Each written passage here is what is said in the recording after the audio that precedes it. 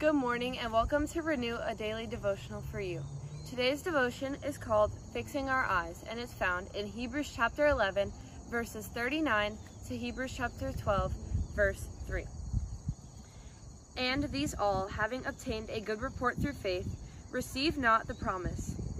God having provided some better things thing for us, that they without us should not should not be made perfect.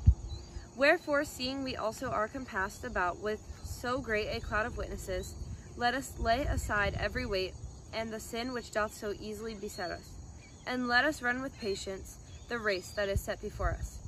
Looking unto Jesus, the author and finisher of our faith, who for the joy that was set before him endured the cross, despising the shame, and is set down at the right hand of the throne of God.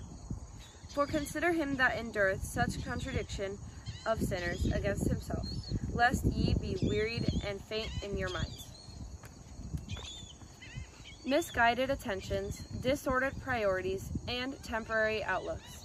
Those three phrases capture how large a majority of people live their lives. Whether it's money, success, recognition, or something else, everyone has their eyes fixed somewhere.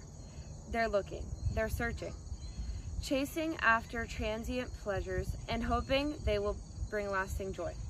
It's an endless search for satisfaction and contentment that only ends in misery. As Christians, we know the folly of this pursuit. We know the things of this earth are fleeting, but everywhere we look, something temporary attempts to capture our hearts, steal our focus, and lure us in with the promise of satisfaction.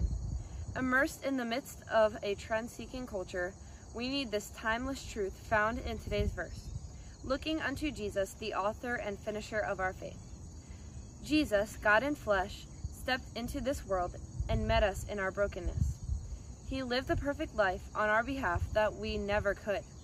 He paid for all of our sins through his bloody death on a cross, and he rose triumphantly to conquer death, hell, and the grave. If we're going to run our race of faith well, we must keep our eyes fixed on Jesus. He's our strength and he's our reward. So where are your eyes fixed? Are you looking unto Jesus or have you been distracted by the foolish pleasures of this life? Jesus alone is worthy of your attention. Fix your eyes on him. Now, some thoughts that I have is that if we keep our eyes on Jesus, we'll, we will be satisfied. And the little things that, you know, this life offers, they won't last for satisfaction. And if we keep our eyes on Jesus, then we won't be worried about things of the world and the worldly pleasures. Today's thought to glow is Jesus alone is worthy of your attention. And the key verse is Hebrews 12:2. Looking unto Jesus, the author and finisher of our faith, who for the joy that was set before him endured the cross, despising the shame, and is set down at the right hand of the throne of God. I'm going to pray. Dear Heavenly Father, thank you for this day, Lord Jesus. Thank you so much for all you do for us, God. Thank you for this devotional this morning, Lord. Help us and give us the strength to keep our eyes on you, Lord. And I pray um, that we would find our joy and satisfaction in you, God, and not things of this world. I pray that you please bless the rest of our day. And in your name, Jesus, amen. And don't forget to join us again on Renew Live. Have a good day.